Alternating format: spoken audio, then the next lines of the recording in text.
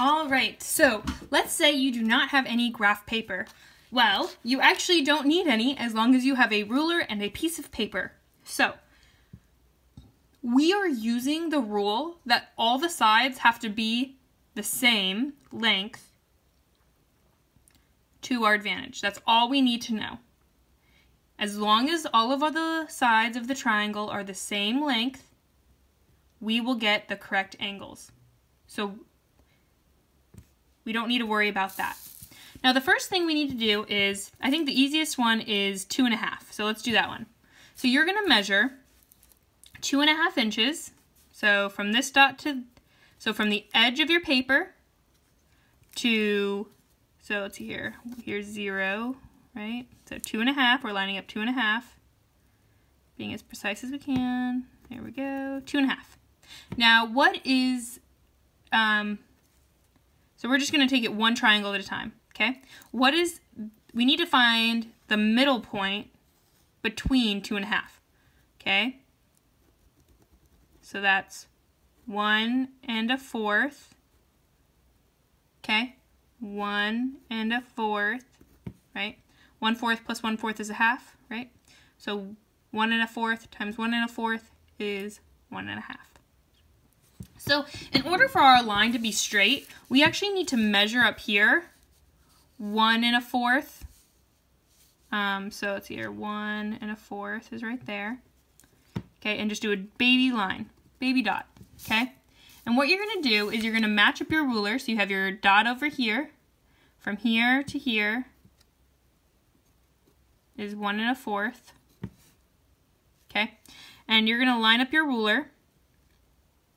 So now we know that this whole piece is perfectly parallel to each other, going in one inch and a fourth.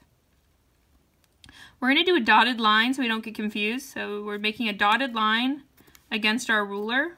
So it's kind of like we're making our own graph paper, but we're only using, we're only making the lines we need. All right, so now we have a dotted line. That is the middle of our triangle. That's where the peak or the tip of our triangle is going to rest. Knowing that we have to have a length of two and a half, okay?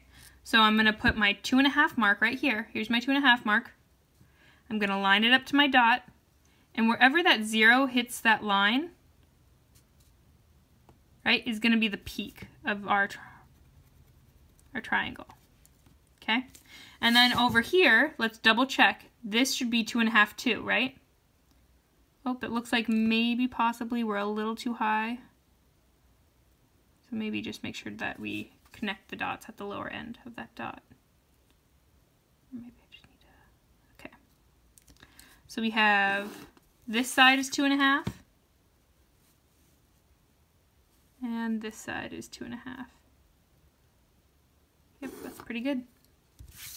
Now we have a triangle that is all two and a half on this side. Right? Two and a half on this side. Right? And 60 here, even though we didn't measure it. 60 here and 60 here.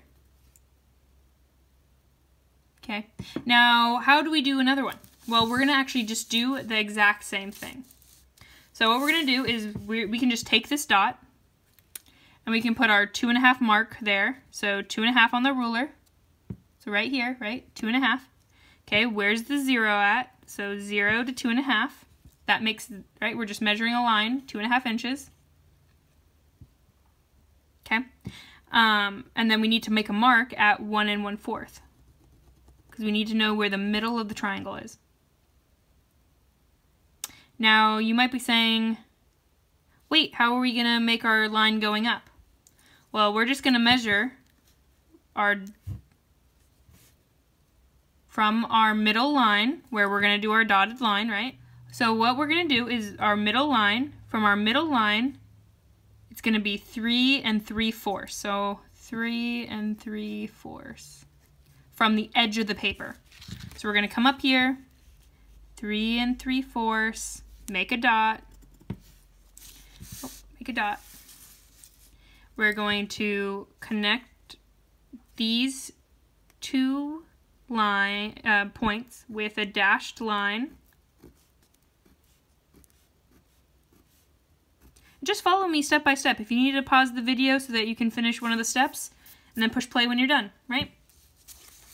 All right, so now we have our middle line and our two points at the bottom. Now we just need the third point to our triangle. What's the length that needs to, what? what's the length of the sides? Yep, two and a half.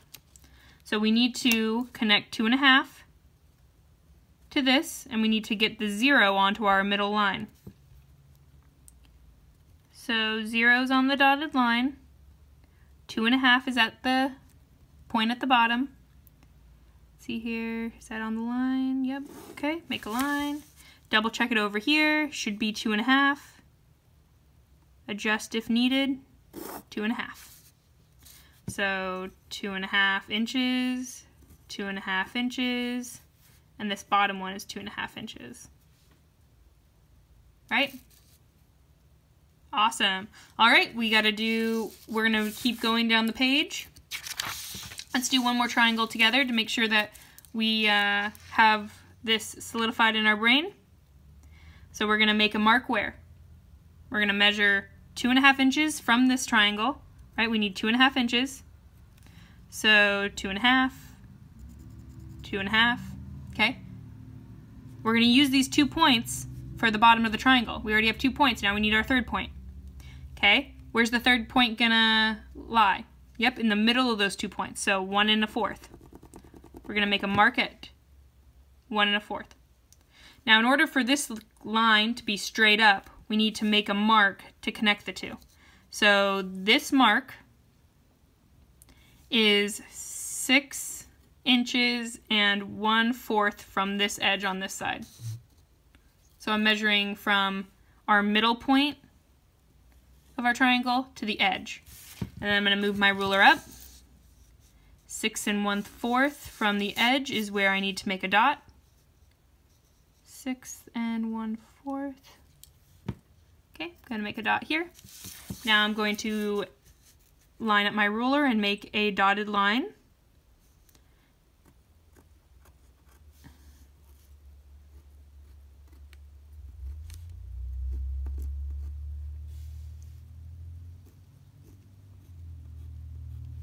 Okay, and now I'm going to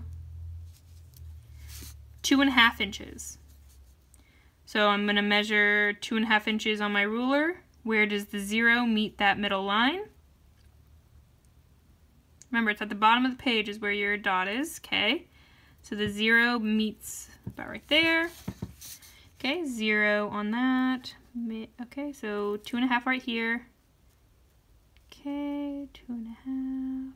Yep, on that dot, very good. Double checking all my measurements. All right.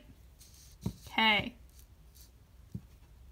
So, yep, we have room for one more triangle. So let's do that together, actually. And I'll show you how to connect it into a truss in a second. All right, so doing this together, we're going to measure two and a half inches. Okay. What's in the middle of two and a half? One and a fourth. Okay, and because this side is closer, I'm going to measure from this side. Okay, so our 1 and 1 fourth dot is 2 and 1 fourth from the edge. So I'm going to come up here, 2 and 1 fourth, Connect my two dots using a dotted line. Kind of have to press that ruler in so you don't. Okay, nice and dotted. Okay, and that will be the third point will be on this line. The third point to our triangle will be on this line. We need to make sure this side of the triangle is two and a half inches. Connect the dots. So where does that meet? Right there. Oops, my ruler accidentally um, moved when I was making my line. So I'm going to erase that line. It should be pretty close, but let's double check. Two and a half, zero, there we go, there we go. Gotta keep my ruler from moving. Okay, this line, or this dot, right? And this dot should be two and a half, very good. All right, so now we have four triangles. Now to make our truss bridge, right, we need it to be connected at the top. Oh, good. So you're gonna connect, so this dot, all these dots on the top of the triangles need to be connected. So I'm just gonna make sure that this is all lined up. Make sure I hold that down. So lining up my triangle tops, the top of the triangles, okay? And then I'm gonna draw one line all the way across to meet them all. All right, and that is our truss bridge. Now, this side is two and a half. This side is two and a half. Cool, right? Now measure, take your ruler and measure the top of this uh, upside down triangle. what? It's two and a half as well. Cool, right? Math. Okay, that means even the upside down triangles are going to be 60, 60, 60. And we planned it that way. That isn't luck. That's math. All right, um, get a piece of paper and a ruler and go step by step. Pause the video when needed. Good job, guys.